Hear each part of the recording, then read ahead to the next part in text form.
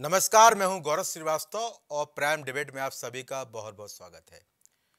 आदेश या फैसला, जो भी आता है, हमेशा कुछ असर दे के जाता है और दे के जाता है आरोप प्रत्यारोप और दे के जाता है सियासी सरगर्मियाँ। खैर, हमारे देश में तमाम तरह के आदेश, तमाम तरह की व्यवस्थाएँ लागू रहती हैं और साथ ही साथ इन व्यवस्थाओं में आम जनता का एक महत्वपूर्ण भूमिका भी रहती है, लाभ भी रहता है। और जनता के विकास को लेकर भी तमाम तरह की जो व्यवस्थाएँ हैं हमारे देश में, उन पर भी समय समय पर बदलाव होते रहते हैं। ऐसा ही बदलाव में संविधान, में संशोधन 103 के तहत 2019 में किया गया। जब सवर्ण गरीब, यानी जो गरीब हैं, वो सवर्ण कोटे से हैं, उनके लिए ई डब्ल्यू एस की व्यवस्था लागू की गई। और जैसे ये व्यवस्था लागू हुई तो बेहतर पहल को देखते हुए इसका लोगों ने स्वागत भी किया। पर साथ ही साथ जहाँ पर हमारे देश में एक जो लोकतांत्रिक व्यवस्था है, उसमें विपक्ष ज़रूर होता है और इसका विरोध भी होता है। तो विरोध हुआ और तमिलनाडु के जो पार्टियाँ रही, उन्होंने इसका विरोध भी किया और कहा, ये चूँकि जो आरक्षण की व्यवस्था है, ये सामाजिक सद्भाव को कायम करने और सामाजिक भेदभाव को मिटाने के लिए शुरू की गई है। और अगर ये आर्थिक आधार पर आरक्षण दिया जा रहा है तो इसमें एस सी को भी शामिल किया जाना चाहिए। इसमें केवल समर्ण क्यों है? पर सरकार की दलील ये है कि जो पहले के आरक्षण हैं, वो सब लागू रहेंगे। कोई इसमें कोई समय अलग नहीं करना है। पर जो गरीब हैं, जो सवर्ण भी हैं एस सी भी नहीं है, ओबीसी भी नहीं है और गरीब भी हैं और वो आर्थिक विकास के आधार पर काफ़ी पिछड़े हुए हैं। तो उनके लिए भी व्यवस्था ज़रूरी है, क्योंकि हमारा संविधान बोलता है कि सबको अधिकार मिले। मौलिक अधिकार भी और आपको जीने का अधिकार भी, समानता का अधिकार भी, जिसके तहत ये व्यवस्थाएँ लागू की जाती हैं। समय समय पर बदलाव ज़रूरी होता है समय समय पर ऐसी व्यवस्थाएँ लागू की जाती हैं, जिनसे देश के हर वर्ग को लाभ मिले। हालाँकि जो फैसला आज लिया गया ऐतिहासिक फैसला था। याचिका दाखिल की गई थी, उसके बाद याचिका फैसला आया। फैसला आया जहाँ पर पाँच जजों की पीठ बैठी हुई थी। जिसमें अगर हम बात करें तो उन पाँच जजों में तीन लोगों ने इसको अपनी सहमति बताई। उन्होंने कहा, ये फैसला संवैधानिक है। उन्होंने बताया कि फैसला सही है। उन्होंने कहा कि संविधान में संशोधन 103 जो है, वो ठीक है। और उन्होंने ये भी कहा कि इसकी अभी ज़रूरत भी है। और उन्होंने ये भी कहा कि राज्य को ई डब्ल्यू कोटा करने का अधिकार भी है। और साथ ही उन्होंने कहा कि अगर वास्तव में लोग परेशान हैं, गरीब, सवर्ण, पिछड़े हैं तो उनको आगे बढ़ाने की ज़िम्मेदारी भी सरकार की है। और सरकार ने अगर ये फैसला लिया है तो कोई दिक्कत इसमें नहीं होनी चाहिए। खैर, यहाँ पर व्यवस्था लागू की गई और लागू करने के बाद जब याचिका दाखिल की गई तो अगर इस याचिका की बात करें तो लगभग लगभग एक हफ़्ते पहले इस पर एक हफ़्ते गहन चर्चा हुई। फैसला सुरक्षित कर लिया गया आज फैसला दिया गया। पाँच जज थे जिसमें एक सीजीआई भी थे यू ललित और अगर अन्य जजों की बात करें दिनेश माहेश्वरी भी थे एल एम बे, बेला एम त्रिवेदी भी थी। इसके अलावा अगर हम बात करें तो जेपी पारदीवाला भी थे और एस रविंद्र भी थे और यू ललित भी थे। जिसमें से यू ललित और एस रविंद्र, इन्होंने इस पर असहमति जताई। उन्होंने कहा, ये फैसला ठीक नहीं है। जबकि तीन जज ने ये फैसले को सही साबित किया और तीन दो की व्यवस्था के साथ ये फैसला लागू हो गया। पर इससे महत्वपूर्ण बात यहाँ पर यह है कि जब जब कोई व्यवस्थित लागू होती है तो फिर बवाल क्यों होता है? उन्नीस में लागू किया गया, उन्नीस में लागू होने के बाद इस पर चर्चा होनी शुरू हो गई। और साउथ की पार्टियों में दिक्कतें सुनी हुई और उन्होंने इसके खिलाफ याचिका डाली। उन्होंने कहा, आरक्षण की सवर्णों को क्या ज़रूरत है? तो अगर सबसे पहले बात करें तो आरक्षण होता क्या है? आरक्षण यानी प्रमुखता। आरक्षण यानी आपको यहाँ आगे बढ़ने के लिए अलग से कुछ व्यवस्थाएँ दी जाती हैं हमारे संविधान के तहत। चाहे नौकरी का आरक्षण हो, चाहे अन्य अधिकारों का आरक्षण हो हमारे देश में आरक्षण व्यवस्था चलती रहती है। आरक्षण का जो मूल उद्देश्य वो केवल ये है कि सामाजिक सामाजिक असमानता है उसको खत्म करना है। भेदभाव खत्म करना है और जो तबके पिछड़े हुए हैं, उनको विकास की धारा में लेकर आना है। महत्वपूर्ण। पर साथ ही साथ समय समय पर समीक्षा होती नहीं है और तमाम चीज़ें ऐसी होती है जो गरीब भी होते हैं, सवर्ण भी होते हैं, वो भी पिछड़ जाते हैं। तो उन सवर्णों का क्या? जिसके लिए केंद्र सरकार द्वारा बेहतर पहल की गई और पहल के तहत यहाँ पर 2019 में संविधान में 103वां संशोधन करके ईडब्ल्यूएस आरक्षण की व्यवस्था लागू की गई। और व्यवस्था लागू होने के बाद जो घटनाक्रम रहा है, वो आपके सामने है। आर्थिक आधार पर आरक्षण बहुत ज़रूरी है। और मेरा मानना तो यह है कि अगर आरक्षण देना ही है तो जातिगत व्यवस्था पर आवश्यक नहीं है। अगर वास्तव में आरक्षण देना है तो मेरे ख्याल से आर्थिक आधार सबसे अच्छा आधार है। ये मेरी निजी राय है। इस पर किसी अन्य की राय नहीं है। और ये आने वाले समय में किस तरह लोगों की राय बन सकती है, ये भी ज़रूरी नहीं है। पर आरक्षण का लाभ अगर देना है तबकों को तो सबसे पहले व्यवस्थित देखना पड़ेगा कि आरक्षण की रूपरेखा क्या है और ज़रूरत क्या है। खैर, चर्चा महत्वपूर्ण है उसमें हमारे मेहमान जुड़ चुके हैं, आपको रूबरू करा दूँ। नेता भाजपा से केसी भाई अपना पक्ष रखेंगे, नितिन सिंह यादव भाई समाजवादी पार्टी अपना पक्ष रखेंगे, दिलीप हर्षवर्धन भाई विधि विशेषज्ञ के रूप में, विशेषज्ञ के रूप में अपना पक्ष रखेंगे और सवर्ण महासंघ से सुनील कुमार द्विवेदी अपना पक्ष रखेंगे। आप सभी मेहमानों का बहुत बहुत स्वागत है। एक मेहमान है जो थोड़ी देर जुड़े जाएँगे, उनका भी हम चर्चा में शामिल करेंगे। तो पहला हमारा सवाल रहेगा, वो रहेगा दिलीप हर्षवर्धन जी से। दिलीप जी, काफ़ी समय बाद यहाँ फैसला आया है और चर्चा महत्वपूर्ण है क्योंकि जो फैसला है इसको सुप्रीम कोर्ट के तीन जजों ने इस पर सहमति जताई है और कहा है संवैधानिक फैसला है और इस पर ई डब्ल्यू एस आरक्षण है वो होना चाहिए। कैसे देखते हैं आप? दिलीप जी दिलीप जी को सारी मेरी आवाज़ नहीं आ रही है। ठीक है। केसी भाई? जी जी। जी। शायद दिलीप जी को मेरी आवाज़ नहीं आ रही है। केसी भाई यहाँ पर बड़ा फैसला हुआ और चूँकि अब जो व्यवस्था थी उन्नीस में केंद्र की भाजपा सरकार द्वारा की गई थी उसके बाद यह फैसला आया है और ईडब्ल्यू e आरक्षण को संवैधानिक बताया है और चलता रहेगा। अभी फ़िलहाल 10 परसेंट आरक्षण गंभीर श्रवण को मिलता है। कैसे देखते हैं आप? देखिए बहुत बहुत धन्यवाद। एक तो आपने बहुत ही अच्छा विषय रखा है जी। और हमें लगता है ज्वलंत विषय भी है। आज जिस प्रकार से निर्णय आया और निर्णय के बाद में भी कई सारे जो पार्टियों के प्रवक्ता है और विशेषज्ञ है विषय के जी। उन्होंने निर्णय सुप्रीम कोर्ट के निर्णय पे भी टिप्पणियाँ की। जी। ऐसे में आपने जो विषय चुना है बहुत ही महत्वपूर्ण विषय है। हाँ। और हमें लगता है पूरे देश की नज़र आज इस फैसले पे थी और सब जगह पे इसकी चर्चा हो रही। तो आपको बहुत बहुत धन्यवाद एक अच्छा विषय आप लेकर के आए देखिए गौरव जी जो पहली बात तो ये है कि जब माननीय उच्चतम न्यायालय का निर्णय आ गया फैसला आ गया जी। उसके बाद हमें लगता है किसी प्रकार की कोई टिप्पणी की आवश्यकता नहीं बचती जी। बस ये ज़रूर है कि आप समर्थन कर सकते हैं आप उसको उसका गैर समर्थन कर सकते हैं अलग बात जी। लेकिन सुप्रीम कोर्ट किसी भी चीज़ की बहुत ही बारीकी से विश्लेषण करने के बाद उसकी गंभीरता को समझने के बाद जी को निर्णय देता है। जी। और पाँच पाँच जजों की बेंच थी उनमें से तीन जजों ने पूर्ण रूप से इस डब्ल्यू एस कोटे का समर्थन किया। जी।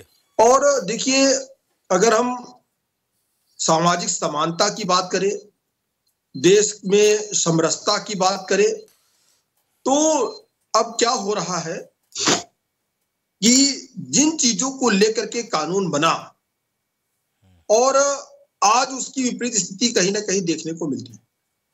जैसे आप देख लीजिए कि अगर एक घरेलू हिंसा के लिए और साथ ही साथ इसी तरीके से जो शादीशुदा महिलाएँ थी उसमें दहेज उत्पीड़न को लेकर के जो कानून बना जी।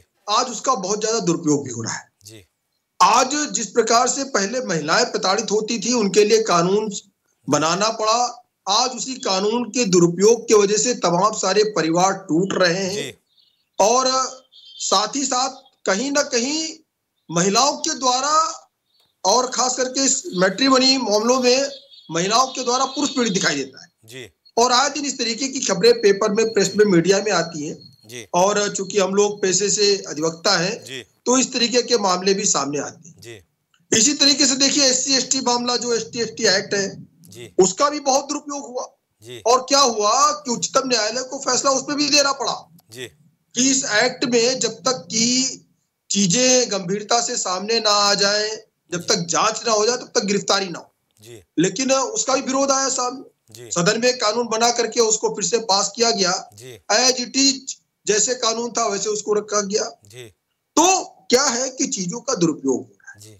अभी क्या है कि ये जो आरक्षण की प्रक्रिया है आरक्षण की प्रक्रिया में यह है कि जो 50 परसेंट टोटल आरक्षण है 27 परसेंट ओबीसी और उसके बाद में एस सी एस टी तो आप ये देखिए कि कहीं पर भी खास करके नौकरियों में और पढ़ाई को लेकर के दो चीज़ों के लिए जो डब्ल्यू एस कोटा बनाया गया सिर्फ़ दो चीज़ों के लिए। ये ऐसा नहीं कि आप चुनाव लड़ेंगे तो आपको आरक्षण का लाभ मिलेगा इसका। कोई लाभ नहीं मिलेगा। केवल दो चीज़ों के लिए रखा गया है। बाकी चीज़ों में कहीं पर भी इस आरक्षण का लाभ नहीं मिल रहा अब क्या हो रहा है कि जब भी काउंसलिंग होती है तो आप देखिए कि 80 प्रतिशत सीटें ओबीसी और एसटी से भर रही हैं। जी। क्या हो रहा है उसके बाद में 20 प्रतिशत सीटें जनरल की भर रही हैं। तो जो गरीब सवर्ण है वो कहा जाए? जी बिल्कुल सही बात है। जो गरीब सवर्ण है वो कहा जाए? अब समस्या ये आती है क्योंकि जो बच्चे हमारे ओबीसी में भी सिलेक्ट हो रहे हैं और जनरल में भी सिलेक्ट हो रहे हैं। तो वो क्या कर रहे हैं कि जनरल कोटे की उन्होंने सीट ली। और उसके बाद क्या हुआ कि पता चल रहा है कि सौ सीटों में से बीस बच्चे ओबीसी के दस बच्चे एससी के सिलेक्ट हो गए। और बाद में जो पचास परसेंट आरक्षण उसमें तो पूरा उनको लाभ मिल ही रहा है। हम्म। तो जो गरीब सवर्ण है वो कहा जाए? कहा जाएगा? तो इसके लिए एक छोटा सा एक वो रखा गया कि कम से कम सौ सीटों में दस सीटें ऐसी हो। और जिससे कि जो गरीब सवर्ण बच्चे हैं जो। अगर सामाजिक समानता की हम बात करते हैं तो सामाजिक समानता के न्याय के लिए नितान्त आवश्यक है।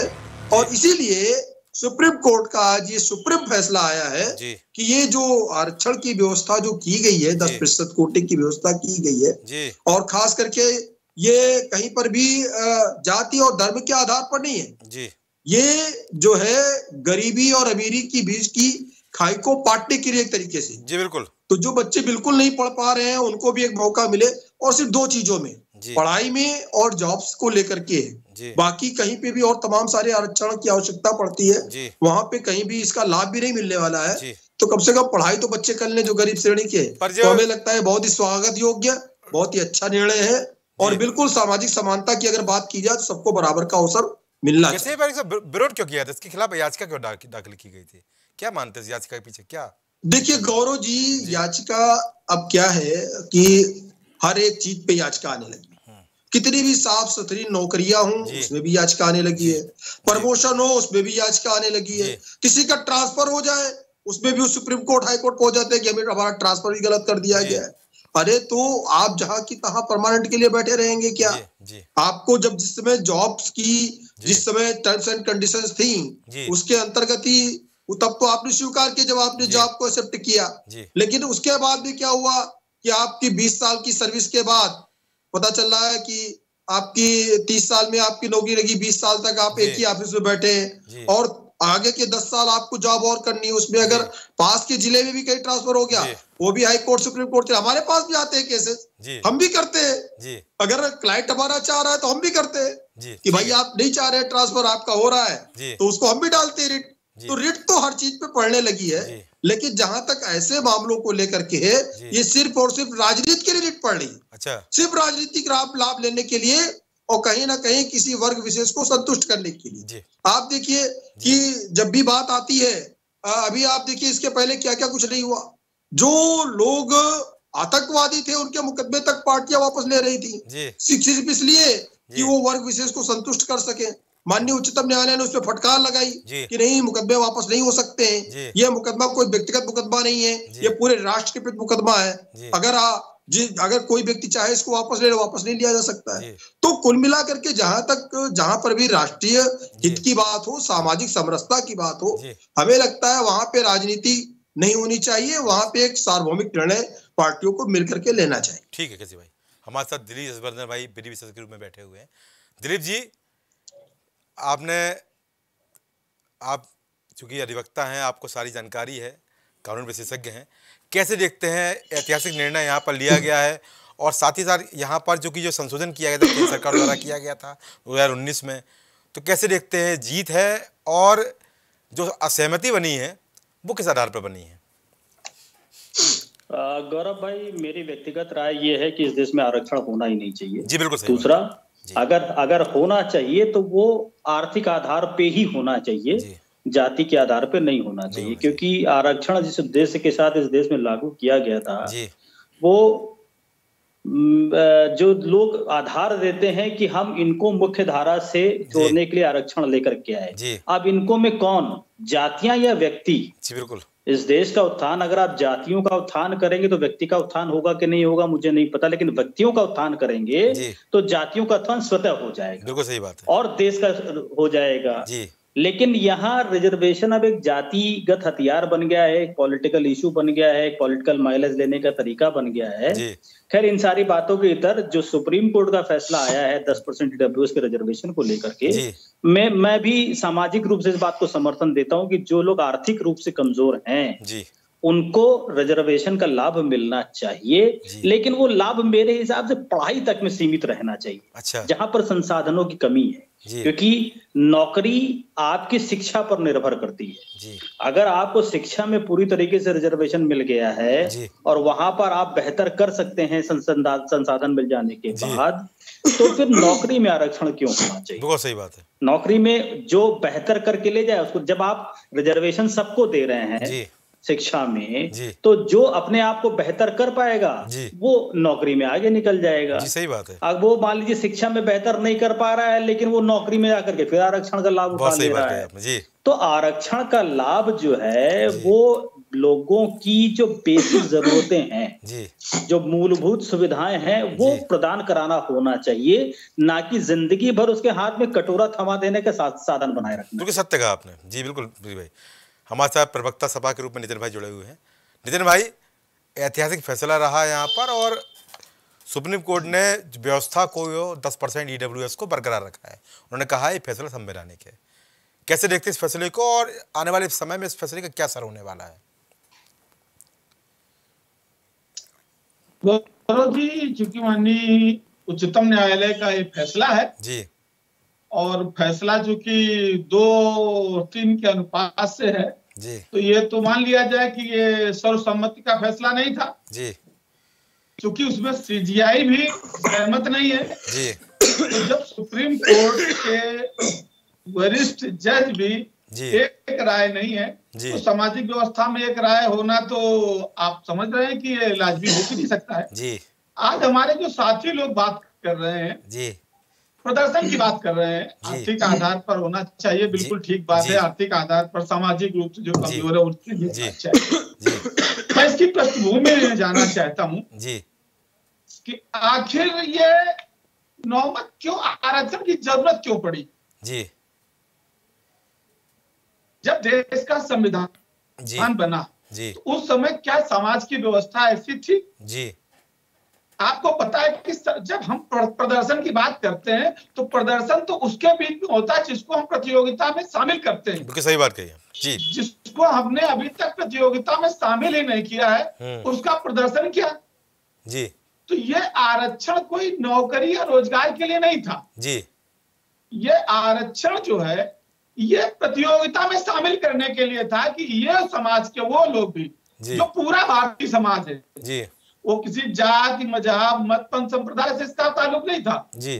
पिछले आज़ादी के पहले जो समाज में एक व्यवस्था थी जी। जिसको वर्ण व्यवस्था कहते थे जी। वहाँ पर समाज का एक वर्ग जिसके हाथ में शिक्षा जी। और अवसर होते थे जी। दूसरे के हाथ में सिर्फ़ रक्षा का अवसर होता था। बाकी समाज का एक वर्ग था जिसके पास व्यापार की व्यवस्था होती थी जिसको वर्ण व्यवस्था में ब्राह्मण क्षत्रिय वैश्य कहा गया। इसके अलावा शेष जो पचासी परसेंट की आबादी जिसको कहते हैं हम्म। उसको किसी भी तरीके का यानी पशुवत जीवन जीने के अधिकार थे उसको मानव जीवन का भी अधिकार नहीं था। अच्छा। और इसी के लिए संविधान की आवश्यकता पड़ी और संविधान का अनुच्छेद अड़तीस। नीति निर्देशक तत्व जिसमें है इसमें आपको मैं चूँकि यहाँ विधि विशेषज्ञ बहुत लोग बैठे हैं अभी हमारे साथी अधिवक्ता इसलिए भी ये बात कहना ज़रूरी समझ रहा हूँ और मैं बात नहीं कहता हूँ। ये और मेरे सामने संविधान से है और मैं संविधान पढ़ के बता रहा हूँ। क्योंकि हम कोई बात हवा में नहीं करेंगे और गैर ज़िम्मेदारी की बात नहीं करेंगे। क्योंकि विधि विशेषज्ञ लोग बैठे हों तो वहाँ पर ज़िम्मेदारी से। तो ये नीति निर्देशक तत्व और ये कहता है कि राज्य जो होगा लोक कल्याण की अभिवृद्धि के लिए सामाजिक व्यवस्था बनाएगा। अब सामाजिक व्यवस्था इसका मतलब नहीं थी। अच्छा। तभी सामाजिक व्यवस्था बनाने की ज़रूरत पड़ी। अच्छा। अब उसमें क्या था? सामाजिक व्यवस्था क्या बनाएगा? राज्य ऐसी सामाजिक व्यवस्था की जिसमें सामाजिक आर्थिक राजनीतिक न्याय राष्ट्र के सभी संस्थाओं में मदद करेगा। सामाजिक न्याय की व्यवस्था क्या थी सामाजिक न्याय जी। जीवन को अर्थपूर्ण एवं मानव प्रतिष्ठा के साथ रहने योग्य जी। जीवन के प्रति सुनिश्चित करने का तरीका है। अब बात आ जाती कि जब किसी व्यक्ति को मानव के तरीके से भी सम्मान नहीं दिया जाता था जब उसको बराबर बैठने का सम्मान नहीं था पढ़ने का सम्मान नहीं था तो प्रतियोगिता में उसकी हिस्सेदारी कैसे होगी और सामाजिक न्याय में उसकी भागीदारी कैसी होगी? जी। उस दौर में संवैधानिक दौर में तब चूँकि उस समय बाबा भीमराव अंबेडकर जब संविधान के निर्माता जी। उस समिति के सदस्य थे ड्राफ्टिंग कमेटी के अध्यक्ष थे उस समय उन्होंने लड़कर के दलितों के अधिकार को तो ले लिया जी। और दलितों को सत्ताईस परसेंट का आरक्षण उस समय मिला। जी। लेकिन दलितों के अलावा भी जी। जो न तो दलितों में शामिल था न वैसे था न क्षत्रिय था न ब्राह्मण था। जी। लेकिन वो बड़ी आबादी साठ परसेंट जिसको डॉक्टर लोहिया ने कहा कि संत सोपा ने बांधी गांठ सो में पिछड़े पावे में साठ। अच्छा। उस बात के लिए कि वो जो सामाजिक रूप से आर्थिक रूप से जिसकी बात हमारे साथी कह रहे हैं कि आर्थिक रूप से जो कमज़ोर है।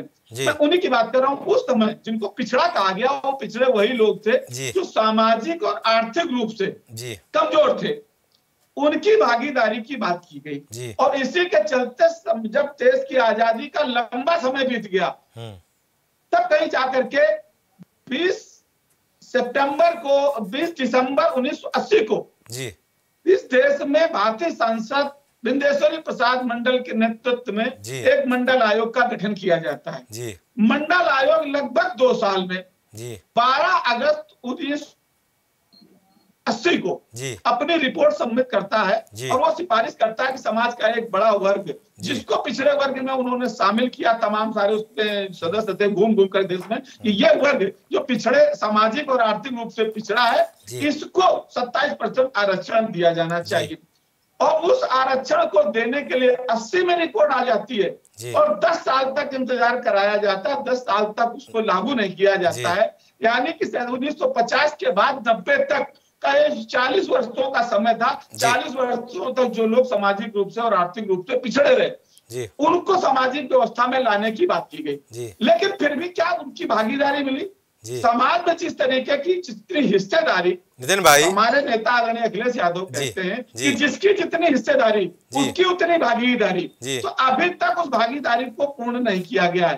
अब बात आती है आर्थिक रूप से निश्चित रूप से आर्थिक आधार पर होना चाहिए। उनको भी बहुत सारे अवसर दिए जाने चाहिए लेकिन ये बात आ रही शिक्षा में तो क्या मैं पूछना चाहता हूँ अपने तमाम सारे मित्रों से जो हमारे वरिष्ठ लोग बैठे हैं और समाज के बड़े सम्रांत और जिम्मेदार लोग हैं कि क्या सवर्ण समाज इसकी बात कर रहे हो? जी। क्या उसको कभी इस तरीके से उपेक्षित किया गया कि उसको स्कूल में जाने का अधिकार न रहा हो? उसको पढ़ने का अधिकार ना हो? उसको बराबर से बैठने का अधिकार ना हो? उसको कुएँ में चढ़ने का अधिकार ना हो? अच्छा। उसका छुआ पानी न पिया जाता हो? उसको स्कूल में घुसने न दिया जाता हो? उसको छाया से परहेज किया जाता हो? ऐसी कोई असमानता उस वर्ग के लिए नहीं रही। अब बात आती है कि आर्थिक आधार। आर्थिक आधार निश्चित रूप से कर्मणता और कर्मणता के ऊपर भी डिपेंड करता है। अच्छा अगर किसी के पास दस बीघे ज़मीन है हम्म। लेकिन अगर वो किसी कारण से हम्म। कुसंगति में पड़ जाए और दुराचरण करने लगे मेरे सामने से कई उदाहरण है कि हमारे गाँव में जो जमींदार होते थे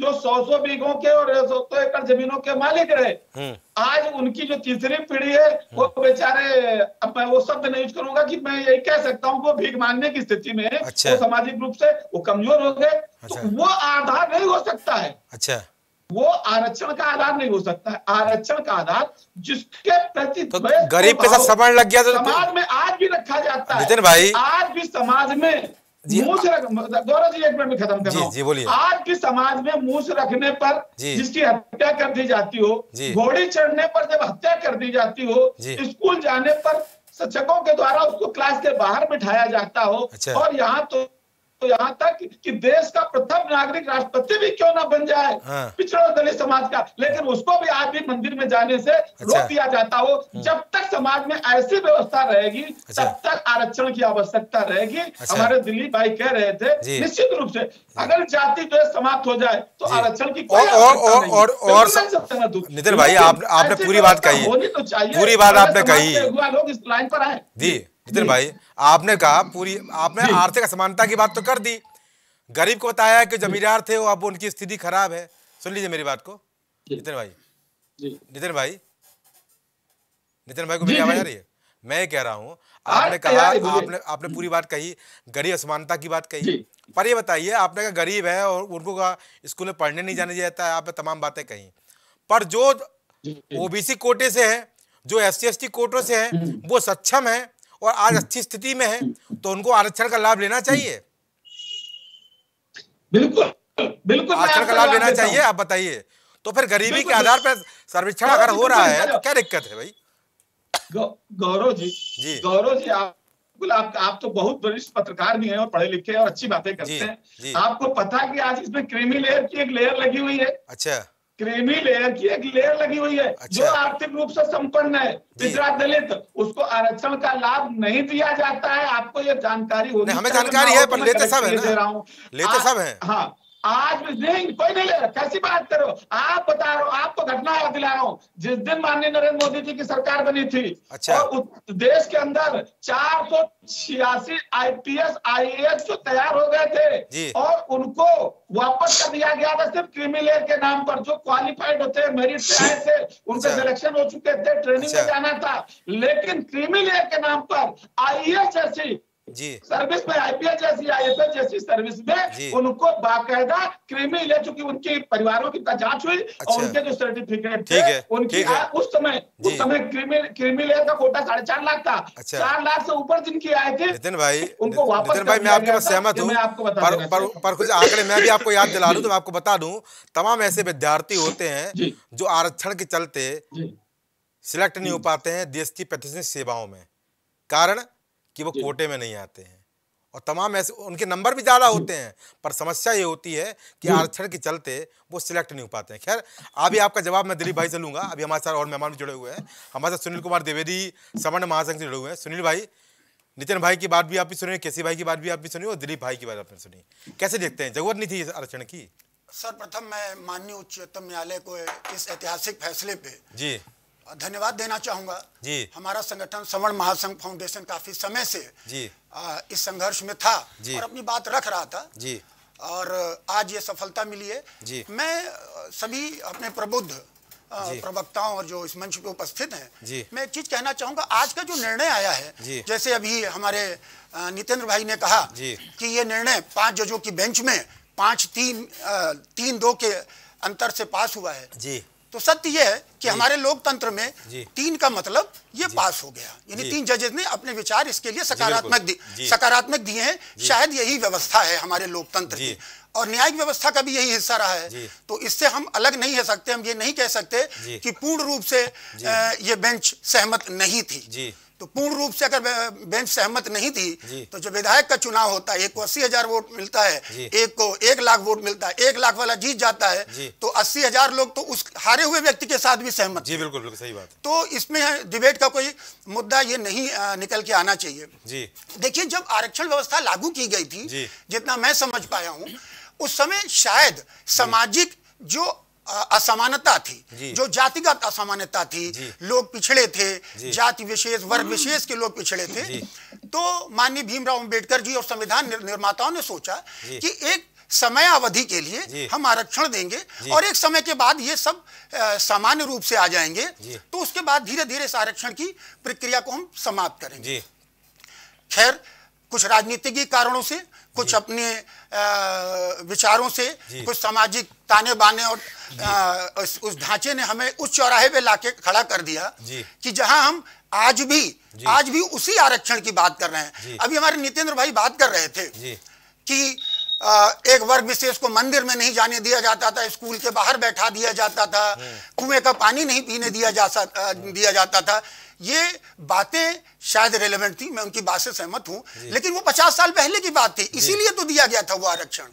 आज की ये घटनाएँ बहुत विलुप्त प्राय हो चुकी है। किस बच्चे को किस विद्यालय में रोक दिया जाता है? एक चीज़ एक चीज़। दूसरी चीज़ एक बहुत महत्वपूर्ण है मैं ये कहना चाहता हूँ कि सामाजिक रूप से आरक्षण आर्थिक आधार का मैं पक्ष धरू। इसलिए कि अर्थ से जो कमज़ोर है जी बिल्कुल। जो वर्ग विशेष किसी वर्ग का हो किसी जाति का है जो। अर्थ से कमज़ोर है वो सामाजिक रूप से कमज़ोर है। जी। और वो सामाजिक रूप से कमज़ोर है तो उसका बच्चा उसके परिवार का व्यक्ति अच्छी शिक्षा नहीं प्राप्त कर पा रहा है अच्छी शिक्षा नहीं प्राप्त कर पा रहा है तो वो अच्छा रोज़गार नहीं प्राप्त कर पा रहा है। हम एक चीज़ जानना चाहते हैं अपने नितेंद्र भाई जी से ही पूछना चाहूँगा मैं। कि योग्यता क्या कोई मापदंड नहीं है? जी। अभी टी ट्वेंटी मैच चल रहा है। हम्म। अनुराग जी, जी। एक प्लेयर तीन मैच नहीं अच्छा खेल पाता। यानी कि अच्छी आ, आ, उसकी परफॉर्मेंस नहीं रहती है। हम सब लोग हम सारे लोग जितने यहाँ बैठे हैं हम्म। उसके ऊपर विवेचना करने लगते हैं कि भाई योग्यता नहीं तो उसको क्यों रखा जा रहा है टीम में? किसी योग्य नए बच्चे को लाया जाए किसी नए को मौका दिया जाए। लेकिन जब आरक्षण की बात आती है तो हम फिर योग्यता को किनारे कर देते हैं और जातिगत वर्ग विशेष के आरक्षण की बात करने लगते हैं। हमारा ये व्यक्तिगत रूप से भी ये मानना है। यशवर्धन जी ने बहुत अच्छी बात कही और हमारे जैन साहब ने बहुत अच्छी बात कही कि आर्थिक रूप से ही आरक्षण होना चाहिए। क्योंकि जब आर्थिक रूप से आरक्षण होगा किसी जाति वर्ग धर्म विशेष मज़हब का बच्चा हो उसको प्राथमिकता मिलनी चाहिए। वो अपनी योग्यता के आधार पे आगे जाएगा। अरे नितेंद्र भाई आप ये जान लीजिए योग्यता योग्यता जल वायु अग्नि की तरह है। कभी बांधी नहीं जा सकती। क्या बात उसको बांधने का प्रयास नहीं करना चाहिए। ये पीड़ा है। ये पीड़ा है हमारे संगठन की भी। ये पीड़ा हम लोगों ने झेली है। मेरा बच्चा भी एक प्रौद्योगिक विश्वविद्यालय में पढ़ता है। जी। जब वो देखता है जी। उसने प्रयास किया था सीएस पाने के लिए सीएस नहीं मिला। जी। और उसको काउंसलिंग में आकर के केमिकल में लेना पड़ा। हमने कहा बेटा कोई बात नहीं आप केमिकल में प्रयास करो आगे आपका इसमें भी भविष्य बना सकते हो। तो आज हम बात करते हैं। कारण ये लोग कहते हैं कि साहब आरक्षण से आ, सामाजिक समानता आएगी। अरे समानता नहीं आ रही है। आरक्षण लागू होने से हाँ। सामाजिक असमानता गौरव भाई हो रही है। हम वर्ग विशेष में समाज को बांट रहे हैं। ये ओबीसी है ये एससी है ये एसटी है ये जनरल है। जी। तो मेरा ये एक स्ट्रांग बिलीव है और मेरी ये जनमानस से मीडिया के माध्यम से आप सभी प्रबुद्धजनों से कि हम अपनी विचार शैली को परिवर्तित करें। ये देश बौद्धिक संपदा का देश है। जी। आज इसरो में या बड़े बड़े संस्थानों में हमारे बच्चे क्यों प्राथमिकता पे लिए जाते हैं? क्योंकि हम बौद्धिक संपदा के धनी लोग हैं। तो जो बौद्धिक संपदा है इसका ह्रास नहीं होना चाहिए। ठीक ठीक। और यही बातों के साथ मैं अपनी बात समाप्त करना चाहूँगा। मैं प्रबल पक्षधर हूँ। आर्थिक आधार पर आरक्षण होना चाहिए। किसी व्यक्ति विशेष की किसी बच्चे की बौद्धिक क्षमता को कम आंकने का प्रयास नहीं करना चाहिए। अमीर भाई कैसे देखते भाई? बड़ा फैसला यहाँ पर है और यहाँ पर सबकी राय आप में सुनी दिलीप भाई की शुक्रिया आपका। गौरव जी देखिए एक बात तो ये समझिए कि जब आरक्षण लागू हुआ था जी। और डॉक्टर भीमराव अंबेडकर जी द्वारा एक संविधान लिखने के बाद जी। तो ये बात तो बिल्कुल स्पष्ट है कि उस टाइम पे जो दलितों की हालत थी वो बहुत ही खतरनाक खराब हालत थी। जी बिल्कुल। और आपको याद होगा कि दलितों के साथ मुस्लिमों का भी आरक्षण हुआ करता था। जी बिल्कुल जो चौवन में ख़त्म कर दिया गया था शायद। जी। लेकिन उसके बाद कुछ दिनों पूर्व एक आवाज़ें उठी मुस्लिम समाज से जब कांग्रेस सरकारें थी कि मुस्लिमों को आरक्षण चाहिए। मुस्लिम भी दलितों से बदतर पोजीशन है मुस्लिमों की और ये सच्चर कमेटी की रिपोर्ट ने स्पष्ट कर दिया था। लेकिन उसके बाद एक नारा उठा। एक डायलॉग होने लगे और सत्ता पक्ष चूँकि मैं भाजपा का इसलिए नाम नहीं लूँगा उस टाइम कांग्रेस की ही पार्टी थी और कांग्रेस के तमाम नेता इस बात के लिए कहते थे कि नहीं धर्म के नाम पर आरक्षण नहीं हो धार्मिक आरक्षण नहीं होना चाहिए धर्म के नाम पर नहीं होना चाहिए। तो मैं वैसे जर्नलिस्ट के एक पत्रकार के मैंने एक सवाल एक बड़े नेता से किया था कांग्रेस के कि ये बताइए कि धर्म के नाम पर आरक्षण नहीं है तो इस देश में किस आधार पर आरक्षण है बड़ा सवाल तो ये था। उसके बाद से उत्तर प्रदेश ही नहीं पूरे देश के कांग्रेस नेताओं ने कहने ही छोड़ दिया कि धर्म के नाम पर आरक्षण नहीं होना चाहिए। इसलिए कि देश के अंदर धर्म के ही नाम पर आरक्षण रहा है और अब तक चल रहा है। क्योंकि जहाँ कोई दलित ईसाई हो जाए या मुस्लिम हो जाए तो उसका आरक्षण स्वतः समाप्त हो जाता है फिर आरक्षण नहीं रहता है।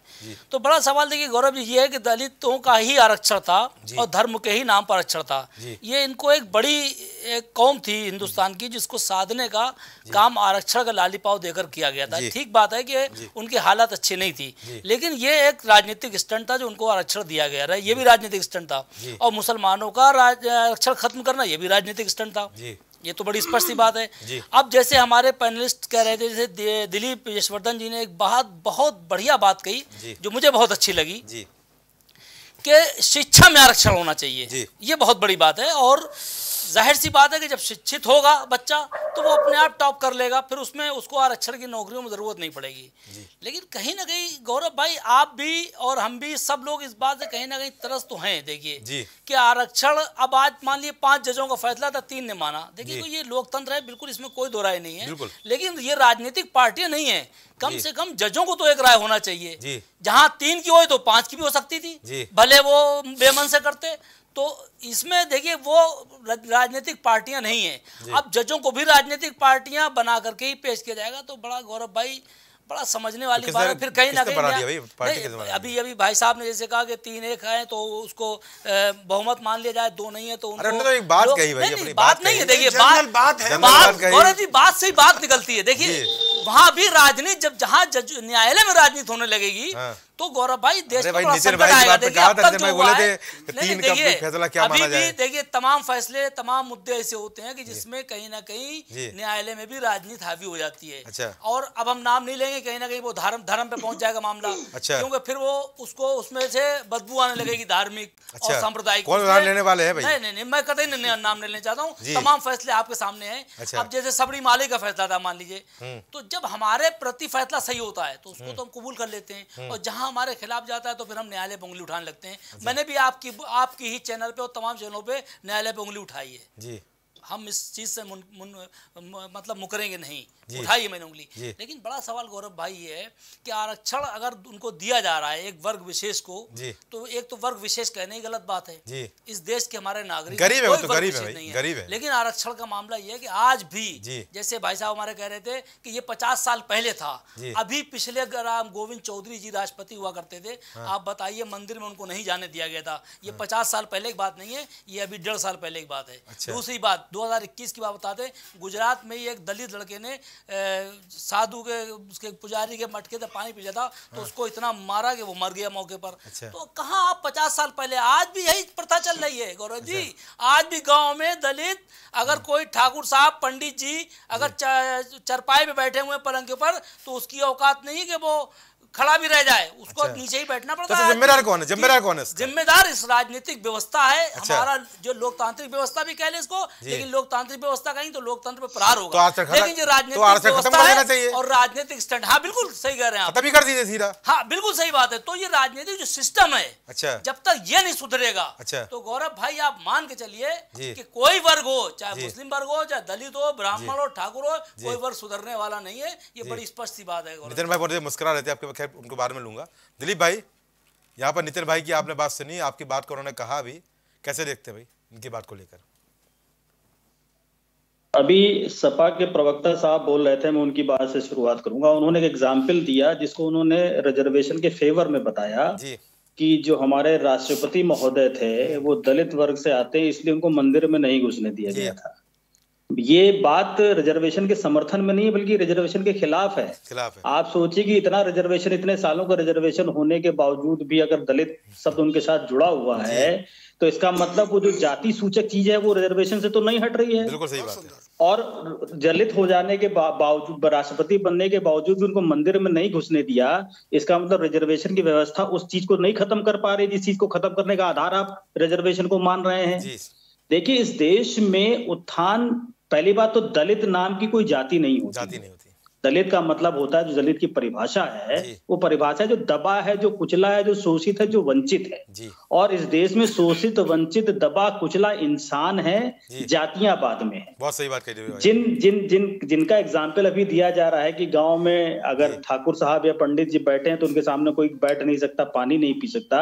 लेकिन उसी जाति का बच्चा अगर उस जगह पे एसडीएम या डीएम या बड़ा अधिकारी बन के आएगा तो वही ठाकुर साहब बगल में बैठा के चाय पिलाएँगे। जाति नहीं आएगी। जी सही बात है। ये तो देखिए कुल मिलाकर के जो हमारी व्यवस्थाएँ हैं वो ऊंच नीच को लेकर के हैं। वो ऊंच नीच का पैरामीटर जाति भी है और आर्थिक आधार भी है। अगर एक बड़े ठाकुर साहब हैं और उनके घर में एक गरीब ठाकुर साहब आ जाते हैं तो वो ठाकुर साहब उनको बगल में बैठा के चाय नहीं पिलाते हैं। वो दूर से खड़े होकर के बात करते हैं कि मैं बड़ा ठाकुर हूँ और तुम छोटे ठाकुर तुम जाति के ठाकुर हो और मैं कद से ठाकुर तो यहाँ कुल मिलाकर के रिजर्वेशन की जो व्यवस्था है देखिए अगर किसी गाँव में किसी क्षेत्र में संसाधनों की कमी है और उस क्षेत्र में दलित वर्ग के लोग भी रह रहे हैं ठाकुर भी रह रहे हैं सवर्ण भी रह रहे हैं पंडित भी रह रहे हैं और उस गाँव में शिक्षा की व्यवस्था अगर अच्छी नहीं है तो वो शिक्षा अच्छी किसी को नहीं मिलेगी। सही बात है।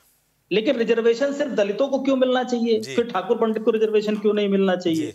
संसाधनों का लाभ तो उसको भी नहीं मिल पा रहा है आगे तो वो भी नहीं बढ़ पा रहा है या जो अन्य सवर्ण क्लास के लोग हैं वो भी आगे नहीं बढ़ पा रहे हैं। कुल मिलाकर के जो व्यवस्थाएँ इस देश में थी जिनकी वजह से रिजर्वेशन को लागू किया गया था कि जातियों के ऊपर आप जाति की व्यवस्थाओं को पहली बात तो गलत तरीके से प्रस्तुत किया गया है सपा के प्रवक्ता एक बात और कह रहे थे जो चार वर्ण बता रहे थे ठाकुर पंडित ये वर्ण व्यवस्था कहीं किसी शास्त्र में नहीं दी सुन लीजिए पहले सुन लीजिए मंदिर में सुन लीजिए जी पूरी सुन लीजिए पूरी बात को। ये जो जो जो चार वर्ण व्यवस्थाएँ दी हैं ये चार चार वर्ण व्यवस्थाएँ किसी शास्त्र में किसी धर्म में नहीं दी हुई है। जी बिल्कुल सही बात। कहीं लिखी हो तो बता दीजिए। ये जाति के आधार पे नहीं है ये कर्मगत आधार पर है गीता में लिखी है अठारवा अध्याय में लिखी है तैतालीसवें श्लोक में लिखी है। यहाँ पर ठाकुर पंडित और एस सी और किसी को कहीं डिफाइन नहीं किया गया है ये सिर्फ़ इंसान के द्वारा अपने राजनीतिक लाभ लेने के लिए इसको जातिगत किया गया है। और वही व्यवस्थाएँ समाज में विकृति के रूप में बैठी हुई हैं और उन्हीं को लोग आगे बढ़ा रहे हैं सिर्फ़ राजनीतिक लाभ लाभ के लिए। ठीक है। नितिन भाई जवाब दीजिए क्या बोल रहे थे भैया किसी भाई की बात देता हूँ। नितिन भाई कुछ बोल रहे थे नितिन भाई की बात पे आप? देखिए दिलीप भाई जो बात कह रहे थे जी। कि ये आरक्षण जी। की वजह से नहीं है और आरक्षण की वजह से अगर ये होता तो ये अब तक सुधार हो जाना चाहिए। हाँ। आरक्षण आया क्यों था? बात ये यहाँ मूल प्रश्न फिर आ गया वहीं पर। आरक्षण इसी वजह से तो आया था कि। समाज में इस तरीके की कुरीतियाँ व्याप्त थी और ऊंच नीच का एक स्तर इतना व्यापक था कि लोग समाज के एक बहुत बड़े तबके को जिसको आप ये कह सकते हैं कि नब्बे परसेंट आबादी ऐसी थी जिसको अछूत की श्रेणी में इसको रखा जाता था जिसके साथ बहुत ज़्यादा भेदभाव था जिसको शिक्षा के अधिकार नहीं थे। अच्छा। और ये सिर्फ़ सामाजिक मानसिकता थी। अच्छा। और इस मानसिकता को ठीक करने के लिए भागीदारी उपलब्ध कराने के लिए ये व्यवस्था बनाई गई थी। लेकिन आज भी सामाजिक व्यवस्था ठीक नहीं हो पाई। इसके पीछे देश के हुक्मरान और हमारी व्यवस्था है। जिसके लिए आज भी ये ज़रूरत है कि सामाजिक भागीदारी जब तक नहीं होगी लोग आर्थिक और सामाजिक रूप से संपन्न नहीं होंगे। अच्छा। जब तक प्रशासनिक व्यवस्था में नहीं आएँगे तब तक ये ठीक दिलीप भाई कुछ कहना चाह रहा है? किसी भाई बात ये बात कहें तो जैसे हमारे हमारे द्विवेदी जी कह रहे थे। द्विवेदी जी कह रहे थे। मैं पूछ। रहा हूँ कि ये ये हम हम इनका सम्मान करते हैं कि कम से कम द्विवेदी जी ने सुनील भाई ने ये बात स्वीकार की कि हाँ। ये बात पचास साल पहले थी। ठीक है? आज लेकिन आज भी मेघवाल की हत्या हो जाती है। जी। मुझ रखने पर।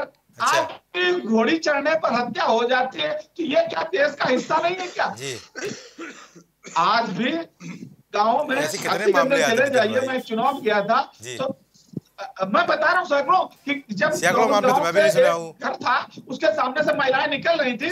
तो अपने चप्पल हाथ तो खा ले चप्पल हाथ करोड़ की आबादी में मामले कितने तो मुझे उत्सुकता हुई कि महिलाएँ जो है ये चप्पल उतार के क्यों गुजर रही? तो बोले बाबू साहब का घर है। ये घर के सामने दलित तो पिछड़े जब निकलेंगे तो जूते पहन के नहीं निकल सकते सड़क से। इसलिए ये महिलाएँ जब उसको देख लेती तो जूते चप्पल हाथ में पकड़ लेती। जब इनके घर से आगे निकल जाएँगी तो ये जूते पहनेंगे। ये भी आज सामाजिक तो जागरूक क्यों नहीं किया? जागरूक कर लेना। आरक्षण ज़रूरी क्यों है भाई? जागरूक कर लीजिए। जागरूक कर सकते क्या लोगों को? सरकारें जागरूक कर रहे भाई लोग असमानता हटाए। मेरा कहना ये है असमानता हटाई जाए। सरकारें नहीं जागरूक कर सकती हैं। अच्छा। ये सरकारें नहीं कर सकती हैं। अच्छा। ये सामाजिक व्यवस्था हम आपको करना पड़ेगा। अच्छा। हम ये पूछना चाहते हैं कि भाई साहब का समण महासंघ है? इस समण महासंघ की ब्राह्मण महासभा की क्षत्रिय महासभा की वैश्य महासभा की इनकी जरूरतें क्यों है भाई? अच्छा। जब तक इनकी ज़रूरत रहेगी तब तक दलित समाज पिछड़ा समाज इनकी भी ज़रूरत रहेंगी क्योंकि यादव महासभा भूल गए क्या आप? झुंड में नहीं यादव महासभा भूल गए आप? जी। यादव महासभा भी तो है। मैं बोल उसको इसका नाम भी ले लीजिए भाई। जब तक इसकी भी ज़रूरत रहेगी क्योंकि श्रवण जब तक शेर कभी झुंड में नहीं रहता है अच्छा। शेर झुंड में नहीं रहता है क्योंकि वो सक्षम प्राणी है। अच्छा। लेकिन भेड़ों को झुंड में रहना पड़ता है। अच्छा तो भेड़ कौन है या भेड़ कौन है? भेड़ शेर कौन है? भाई परिभाषा बता दीजिए। भेड़ वही है। जी। भेड़ भेड़ नब्बे परसेंट आबादी है। नब्बे परसेंट आबादी है। परसेंट आबादी आज भी जो दिलीप भाई बताएँगे भाई भेड़ कौन है शेर कौन है? अकेला व्यक्ति जी। गौरव जी आज जमीनी हकीकत से वाकी बोलिए आज भी समाज में जिसकी चर्चा कर रहे थे आज भी एक लंबरदार की हैसियत होती है कि दस बीस पचास लोग एक तरफ़ खड़े हो तो लंबरदार अकेले लाठी लेके निकल पड़ते। तो सही है। तो बाबू साहब की जेल खुल करके बड़ा होना पड़ता है यही आपका सामाजिक आधार है। कुछ बोलना चाह रहे हैं तब तक आरक्षण की आवश्यकता रहेगी। अब बात आती है ईडब्ल्यू एस की। आप ये तो सामाजिक व्यवस्था बोल रही है मुल्क का नहीं है आज आज का मूल मुद्दा है ईडब्ल्यू एस का ईडब्ल्यू का आरक्षण आर्थिक आधार पर उन सवर्णों आप सहमत हैं? जो आर्थिक रूप से कमज़ोर है मैं बिल्कुल इसका उसका विरोधी नहीं चलो ठीक है। सहमत है कि नहीं है? पार्टी का तीन में आते दो में आते हैं बताइए। आप तीन में आते हैं कि दो में आते हैं? जी। सहमति में है असहमति में है? मेरी बात सुन लीजिए। मैं जी। गौरव जी मेरी बात को समझिए मैं जो कहना चाह रहा हूँ। मैंने आपको जो पहला उदाहरण दिया कि सुप्रीम कोर्ट के वरिष्ठ जजों ने पाँच और लोगों की बेंच का फैसला था इसमें तीन और दो से पास हुआ। यानी कि सुप्रीम कोर्ट भी अच्छा। उसमें सहमत नहीं है पूरे पाँचों लोग। यानी ऐसा कोई ज़रूरी है कि सबके विचार से सभी सहमत हो जाए। सीजीआई भी उस फैसले से सहमत नहीं हुए। ठीक है। बहुमत से फैसला हुआ निश्चित रूप से फैसला हो गया उसका सम्मान है। और ये आर्थिक आधार पर होना चाहिए जो समाज का कमज़ोर व्यक्ति है उसको भी लाभ मिलना चाहिए। लेकिन मैं एक सवाल भारतीय जनता पार्टी के प्रवक्ता से आपके माध्यम से पूछना चाहता हूँ हाँ। कि पिछले दो वर्षों में जब से ये लागू हुआ था हाँ। क्या ये आंकड़ा दे पाएँगे कि हाँ। लाभार्थी लोग कौन हुए और उसमें कौन समाज सबसे ज़्यादा जवाब लेते जवाब लेते बहुत देर से बोलना चाह रहा है। बहुत देर से आपकी बात पर बोलना चाह रहा है? भाई। जवाब दीजिए बहुत देर से आप बोलना चाह रहे हैं। बोलिए बोलिए। जी जी देखिए देखिए काफ़ी देर से नितिन जी बोल रहे हैं सपा के साथ। ही और मैं चाहता हूँ सुने दो मिनट समय दे सुने वो हल्ला ना करे बहुत देर से बोल रहे हैं पिछले पंद्रह मिनट से लगातार बोल रहे हैं जवाब सुन ले थोड़ा सा। जी। देखिए नितिन जी अभी चर्चा हो रही थी कि आज भी समाज की वही स्थिति है। जी। तो देखिए ये तो बिल्कुल कपोल कल्पित बात है कि वही स्थिति है। जी। मैं आपको बता दूँ कि चूँकि हम लोग राजनीति में हैं और खास करके राष्ट्रीय पर्व गणतंत्र दिवस पे और आज़ादी के दिवस पे हम लोगों को तमाम सारे विद्यालयों में झंडारोहण करने का और वहाँ जाने का अवसर मिलता है। जी। वैसे भी तमाम सारे विद्यालयों में जो वार्षिक कार्यक्रम होते हैं बुलाते हम लोग वहाँ जाते हैं। तो मैं आपको बताऊँ गाँवों में भी जिन गाँवों की चर्चा हो रही गाँव में वही स्थिति है ये है वो है। तमाम सारे प्राइवेट स्कूल छोटे छोटे खुले हुए हैं और जहाँ पर 100 200 300 की संख्या है जी। और वहाँ का जो विद्यालय का संचालक है वो दलित समाज से है एससी समाज से है और उसके बाद में भी उस विद्यालय में ठाकुर का बच्चा भी पढ़ता है पंडित का भी पढ़ता है यादव का भी पढ़ता है कुर्मी का भी पढ़ता है हर जात धर्म का बच्चा वहाँ पढ़ता है। लेकिन बिना किसी भेदभाव के जितने बच्चे निकलते हैं सारे बच्चे उस प्रिंसिपल के पैर छूते हुए निकलते हैं। ठाकुर का बच्चा भी छूता है पंडित का भी छूता है बिल्कुल। और दलित का भी छूता है हर कोई गुरु की धर्म जाति नंबर एक बात। जी। दूसरी बात ये कि आज तमाम सारे वो चाहे दलित हो या ओबीसी हो जनरल सबके हैं लेकिन जहाँ तक सवाल उठ रहा है कि आरक्षण की बात और आरक्षण को लेकर के ओबीसी एस सी की बात हो रही है। हम लोग होटलों में जाते पूछते बगल में कौन बैठा है? या इस प्लेट में पहले किसने खाया था? जी ना तो होटल में पूछते हैं ना तो ट्रेन में पूछते हैं बगल में कौन बैठता है? रिजर्वेशन होता है ट्रेन में। अभी मैं पश्चिम यूपी का चार पाँच जिलों का पूरा दौरा करके आया हूँ। ट्रेन में नीचे एसी क्लास में कौन बैठा है या स्लीपर क्लास में कौन है नीचे?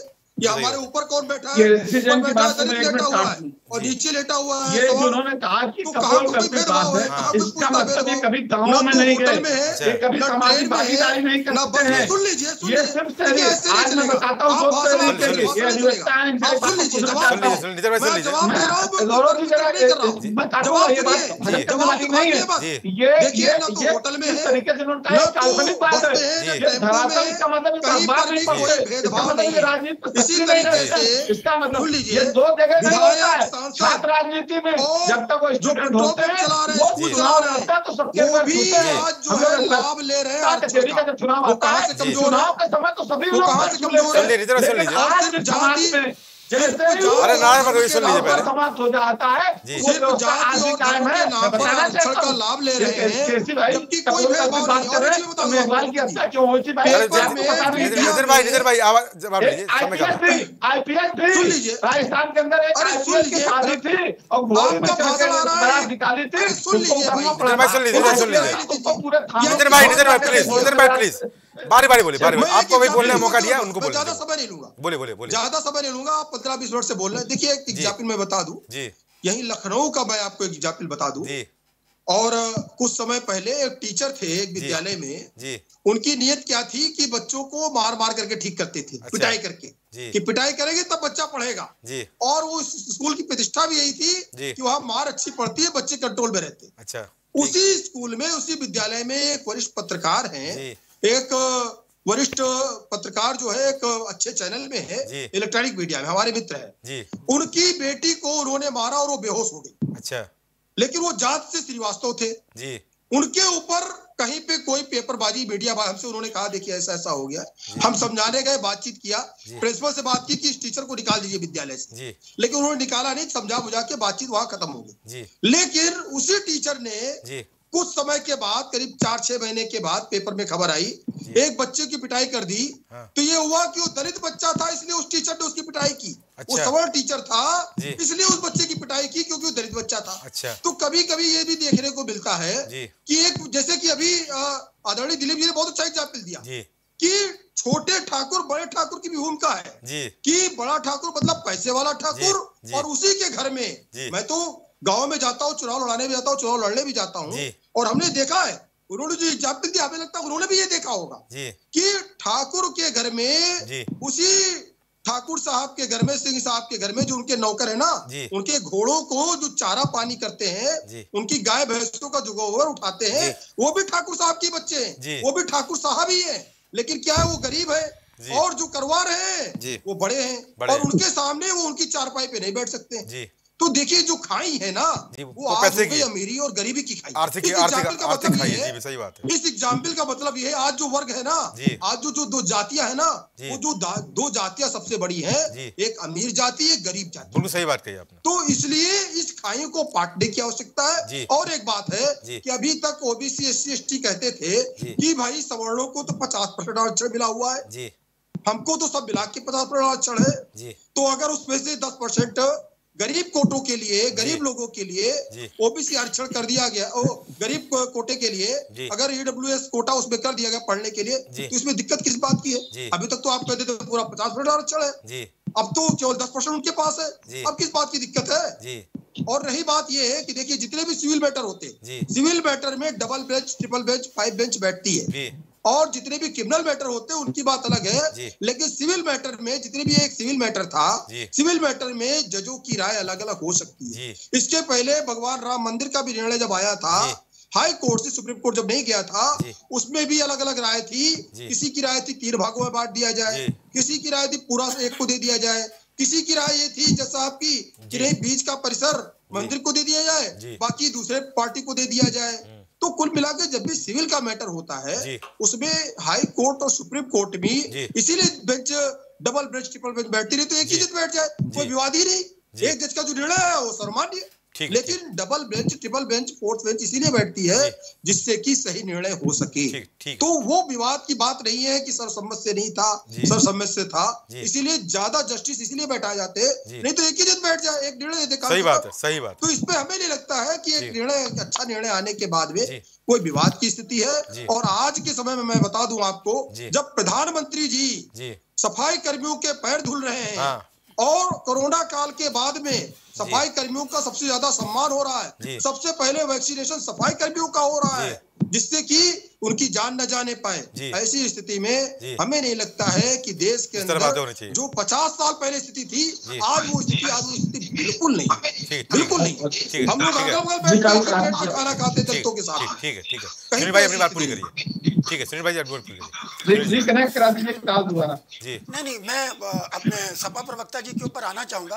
असलियत में पूरी समस्या हमारे सामाजिक ताने बाने की ये है कि हम कुछ आइसोलेटेड केसेस को लेकर के बीच बीच में उठाते रहते हैं। अच्छा। चूँकि हमको अपनी राजनीतिक रोटियाँ सेकनी है। अच्छा। बहुत अच्छी बात कही केसी जैन साहब ने और यशवर्धन जी ने कि आरक्षण व्यक्ति विशेष पे होना चाहिए। जाति का कोई आधार ही नहीं होना चाहिए। और पचास साल पहले की जो मैंने बात की थी आप हमेशा ध्यान रखें कि, कि जब चीज़ें सर के ऊपर जाती हैं जिनकी संख्या ज़्यादा होती है चर्चा उनकी होती है। आज अभी आप कह रहे थे कि मूछ काट दी जाती है तो जनोधारी ब्राह्मण भी एक मंदिर में मार दिया जाता है। तो उसके लिए आप क्या कहना चाहेंगे? हमारा दुर्भाग्य है कि हम आज भी उसी घटना घटना होती घटना क्रम को उसको डबल फ्राई करते रहते हैं कभी लहसुन से कभी प्याज से कभी टमाटर से। अच्छा। क्योंकि हमें अपनी अपनी राजनीतिक रोटी और राजनीति राजनीति को चमकाना है। मुद्दा ये है हम सभी लोग इस बात पे सहमत हो जाएँ जो। गरीब है उसकी कोई जाति नहीं ठीक है ठीक है। जो गरीब है उसका कोई धर्म नहीं जो गरीब है वो साधनहीन है। जो साधनहीन है उसको शिक्षा में रोज़गार में उसके उत्थान के लिए उसको अवसर मिलना चाहिए यही मेरे संगठन का कहना है। और एक चीज़ और हमारे मैं दो मिनट का समय चाहूँगा। एक हमारे सपा प्रवक्ता जी कह रहे थे कि आपका संगठन क्या करता है? हमारा संगठन कुछ नहीं करता है। हमारा संगठन सवर्ण बच्चों को जो। साधनहीन है उन सवर्ण बच्चों को जिनका पिता पल्लेदारी करता है जिनका जिनका पिता रिक्शा चलाता है जनेऊ पहने हुए भी लोग रिक्शा चलाते हैं चार बाग देखा है। उनके बच्चों के पास में पढ़ने की व्यवस्था नहीं है। हम ना सरकार से लेते हैं ना किसी एनजीओ से लेते हैं। हम कुछ लोग एकत्र होकर के धन एकत्र करते हैं उन बच्चों को पढ़ने की व्यवस्था कर रहे हैं। और मैं आपको बता दूँ प्रवक्ता महोदय कि हम यूपीएससी से लेकर के और ग्रेड थ्री तक के भविष्य में हमारी योजना है। अभी हमने ऑनलाइन प्रारंभ कर दिया है। हम ऑफलाइन कोचिंग भी करने जा रहे हैं। हम निःशुल्क शिक्षा की बात कर रहे हैं। हम शिक्षा पे कार्य कर रहे हैं। शिक्षा पे कार्य इसलिए कर रहे हैं नितिन भाई जिससे हमारे माथे से ये जातिगत छाता उतर जाए। और जाति के ढांचे को तोड़ने के लिए हम शिक्षा पे कार्य कर रहे हैं। यही समण महासन का तीस सेकंड पूरी करिए तीस सेकंड जल्दी बोलिए। देखिए गौरव जी बात बड़ी साफ़ सी है। जी। जो फैसला आज आया ठीक है उसका स्वागत तो सभी को करना चाहिए हम भी कर रहे हैं। लेकिन ये जो अमीर गरीब वाली खाई जो बताई जा रही है गौरव जी ये तो हर जगह मिलेगी आपको। आज दलितों में भी जो पैसे वाला है वो बहुत ऊपर है जो दलित गरीब है वो बिल्कुल ज़मीन पर है। तो ये तो कोई उसका बहाना नहीं है तो, और ना ही कोई उसका ये म्यार है ना ही उसका कंपटीशन है। ये तो जन्मों जन्मों से चला आ रहा है अमीर और गरीब का। लेकिन जो आरक्षण का मामला था जो देखिए एक बात और बड़ी साफ़ से बताते हैं आपको कि संघ बहुत टाइम से इसका विरोध कर रहा था। और इसको मंचों से भी करा गया और जमीनी तौर पर भी इसका काम किया गया। उसी की आज एक कड़ी है ये जो। फैसला आया है। बाकी बहुत ज़्यादा इसमें हमें दिलचस्पी नहीं है ना मुझे कहना है। इसलिए कि अगर आरक्षण समाप्त कर दिया जाएगा सारा तो ये तो बात बिल्कुल स्पष्ट है कि बहुत नुकसान भी होगा। जी। हो सकता है कुछ लोगों को फ़ायदा हो जाए लेकिन नुकसान भी होगा। आज जो अभी हमारे दिलीप यशवर्धन जी ने कहा उन्हीं उन्हीं की बात है। बात उन्हीं ने बिल्कुल सही की लेकिन शायद वो समझ नहीं पाए क्या कहना चाह रहे हैं। जी। आज एसडीएम और सिटी मजिस्ट्रेट और डीएम का जो उन्होंने हवाला दिया बिल्कुल सच बात है कि अगर वो डीएम दलित है तो उसके साथ बड़ा बड़ा ठाकुर भी बैठना पसंद करता है। मायावती के बड़े बड़े ठाकुर और पंडित पैर छूते थे। सिर्फ़ इसलिए कि वो मुख्यमंत्री बन गई थी। ठीक ठीक है। तो यहाँ पर अब चर्चा हुई और चर्चा हुई कि 10 परसेंट ई डब्ल्यू एच आरक्षण का जो फैसला आ जाया है, वो सही है या नहीं? हालाँकि सबकी अलग अपनी अपनी राय है, पर इन रायों के बीच एक बात निकल के साफ़ आती है कि आरक्षण ज़रूरी है और अगर ज़रूरी है तो केवल और केवल आर्थिक आधार पर। क्योंकि जो खाई है, वो यहाँ पर गरीब और अमीर की है। सबसे बड़ी खाई यही है और सारी असमानताएँ फ़िलहाल आर्थिक व्यवस्थाओं के आधार पर ही होती है। अगर कोई गरीब है तो वो गरीब ही है, चाहे वो किसी वर्ग का हो। और अगर अमीर है तो अमीर ही है, चाहे किसी वर्ग का हो। तो अगर वास्तव में बदलाव चाहते हैं, वास्तव में चाहते हैं कि समानता हो और सभी लोग समान धर्म से, समान व्यवस्था से और समान व्यवहार बिना भेदभाव के रहे, उसके लिए आरक्षण जैसी व्यवस्थाओं के ऊपर अब समीक्षा करनी पड़ेगी। और समीक्षा भी ऐसी जो एक बेहतर विकल्प के साथ आए। विकल्प हो, आरक्षण भी हो, पर हो आर्थिक आधार पर। तभी बेहतर कुछ हो पाएगा, तभी युग आगे बढ़ेगा और तभी हमारा देश विकास कर पाएगा। क्योंकि योग्यता कभी बांधी नहीं जा सकती है और जब कोई चीज़ बांधी नहीं जा सकती है तो उसकी जो परिवर्तन होगा जो उसका विकास होगा वो चहुर्मुखी होगा और भारत तभी विश्वगुरु बन सकता है। तो आज की चर्चा में इतना ही। मुझे यानी गौरव श्रीवास्तव जी नमस्कार।